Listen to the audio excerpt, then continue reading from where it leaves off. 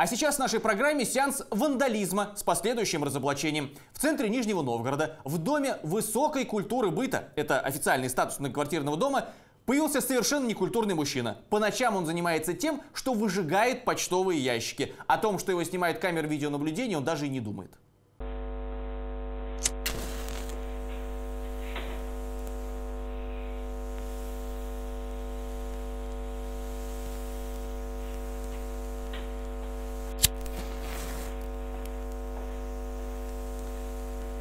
Пол второго ночи не, неизвестный мужчина, который проживает вот здесь, вышел в трусах, абсолютно раздетый, стоял, курил, курил, а потом решил ни с того ни с сего разжечь огонь. То есть он это делал долго, упорно. Сначала этот ящик пытался поджечь, потом вот этот, потом вот этот. Он дождался результата, потому что ящики долго не разгорались. В итоге, когда тут все заполыхало, он видимо, удовлетворился. То есть цель была достигнута. Но он, главное, посмотрел, что горит, так сильно горит.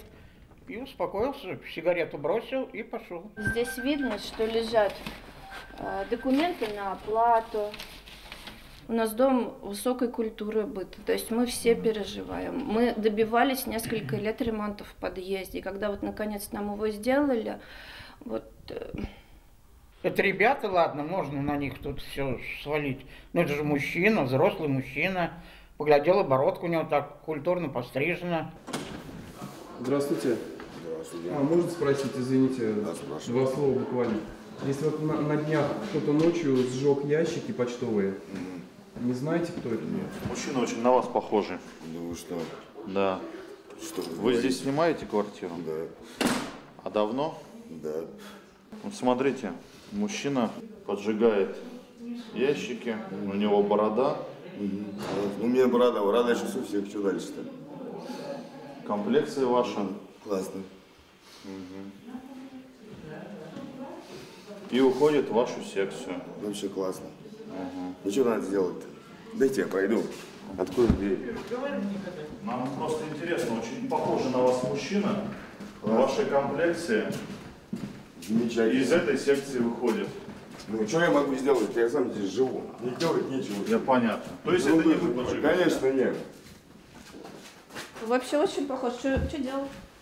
Полицию вызывайте. Так мы уже вызывали полицию.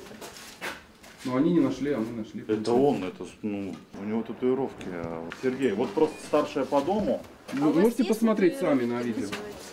Где на животе? Нет, Ну, в районе у меня нет татуировок. Нет. так на груди же у вас У на груди нет, на животе нет. Так мы вас сейчас видели, у вас расстегнутая. Молодец, вам что от меня надо-то? Ну так это вы поджигали Я ящик? вам еще раз сказал, нет. Ну что я здесь живу, ты что? Вообще, дурдом какой-то. Ящик кому-то кто-то поджег. Нет, просто сейчас вызовем полицию. Да вызывайте, нет, что надо от меня-то? Я теперь слушаю. Добрый день. Это старший по дому Белинского 89 Ладила Таисия Алексеевна.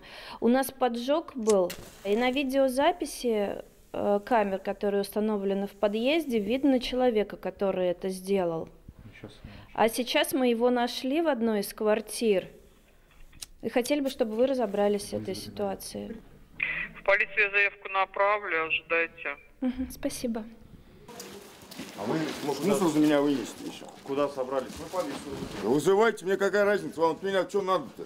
Ну, потому что вы очень похожи на человека. Молодцы, я тут при чем? Я вам даже разрешение на съемку не давал. Дошли меня, разбудили, достали меня. Ну и все, молодцы, отдыхайте тогда. У нас в подъезде прошлой ночью был совершен поджог почтовых ящиков. Почтовые ящики принадлежат вам, домоуправляющей компании. Скажите, пожалуйста, вы писали заявление в полицию на ущерб и собираетесь ли это делать?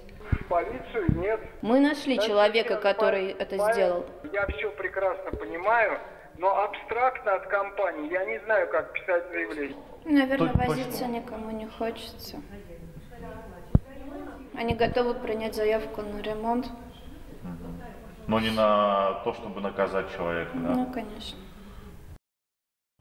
Кстати, полиция на вызов так и не приехала. Спустя несколько часов старшая по дому сама поехала к местному участковому, чтобы написать заявление.